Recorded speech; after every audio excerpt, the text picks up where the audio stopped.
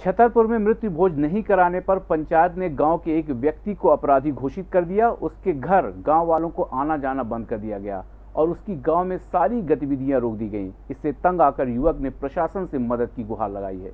बुंदेलखंड के छतरपुर ज़िले में आज भी शासन प्रशासन नहीं, बल्कि पंचायतों के फरमान माने जाते हैं। जहाँ पर पंचायत अगर कोई फैसला सुना दे तो उसका सभी को पालन करना होता है। ऐसा ही एक मामला ज़िले के राजनगर तहसील के खजवा गाँव के सामने आया है, जहाँ पर किसान ब्रज गोपाल पटेल के 15 वर्षीय बेटे की कुएँ में डूबने से मौत हो गई थी। लॉकडाउन की वजह से किसान ब्रज गोपाल द्वारा मृत्यु भोज नहीं कराया गया था, जिस पर पंचायत द्वारा उसे अपराधी मानकर समाज से निष्कासित कर दिया गया।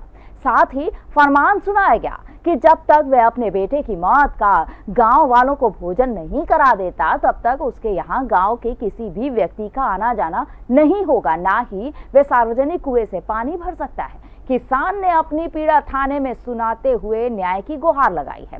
किसान के ऊपर घटना का ज़िक्र न करने का दबाव भी बनाया जा रहा है। थाना राजनगर के अंतर्गत ग्राम खजुआ का मामला है जिसमें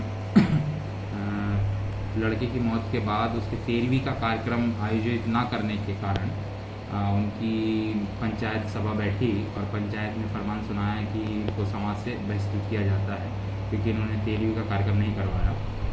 और इस संबंध में जो फरियादी है, उसने थाना राजनगर में आवेदन पत्र प्रस्तुत किया है, जिसमें उन्होंने बताया है कि लॉकडाउन की वजह से उनके द्वारा भीड़ भाड़ इकट्ठा ना हो जाए करके तेरहवीं का कार्यक्रम आयोजित नहीं किया जा सका था जिसकी वजह से पंचायत द्वारा उन्हें समाज से बहिष्कृत करने की बात कही गई थी।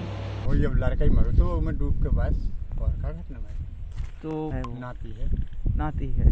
जान सका भैया हम नहीं जान सकते मैं में ना हमसे उन्होंने कोई सलाह दी। संगीत की स्वर लहरियों से सांस्कृतिक ताने बाने तक चंबल के पीड़ों से नक्सलवादियों के गढ़ तक।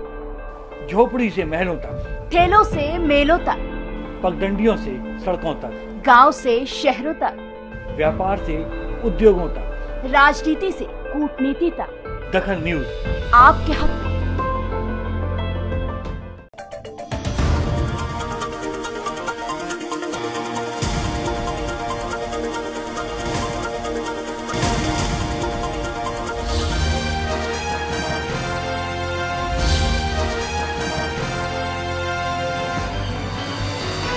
आप देख रहे हैं दखल न्यूज़।